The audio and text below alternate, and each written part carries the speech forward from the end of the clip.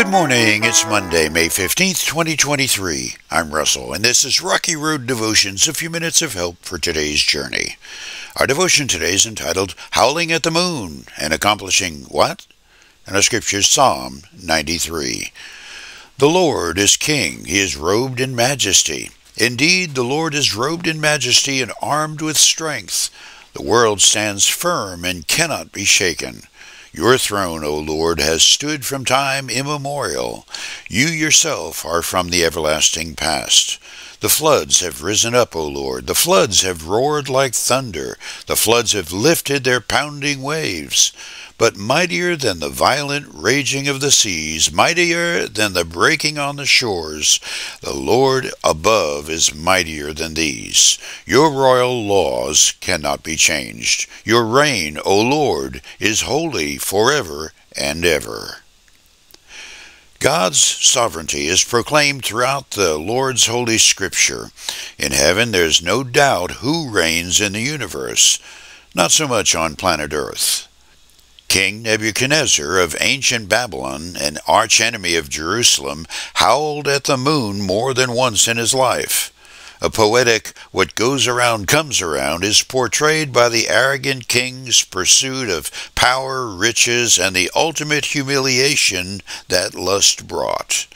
He fought won and destroyed Jerusalem, killing, capturing, and looting the nation's treasures and temple, devouring God's people like a monster.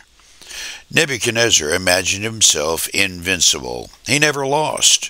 He even set up a gold statue of himself 90 feet high, and everyone had to worship the statue because the king proclaimed himself God.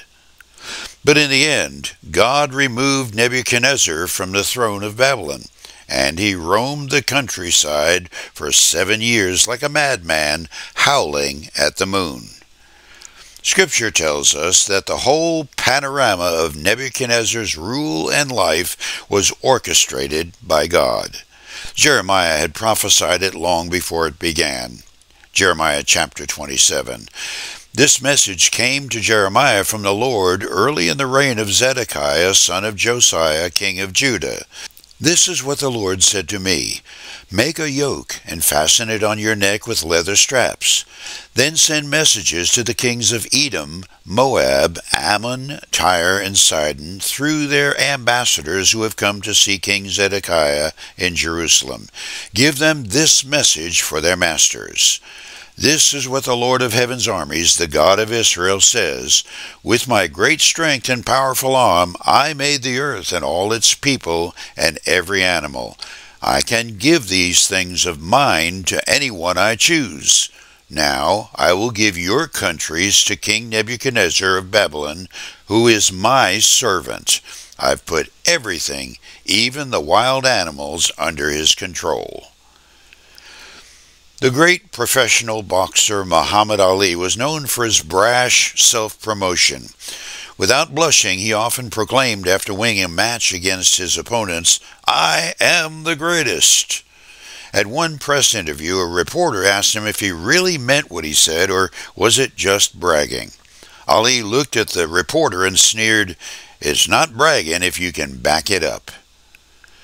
Nebuchadnezzar's and professional boxers' trash talking may have some teeth and last for a news cycle, but their so called reign is tied to a leash. The one who holds the other end of that leash is God, the one and only true God. For you today, when it comes to classical narcissism, otherwise known as bragging, aggrandizing, or self promoting, Choose the humility of keeping your mouth closed.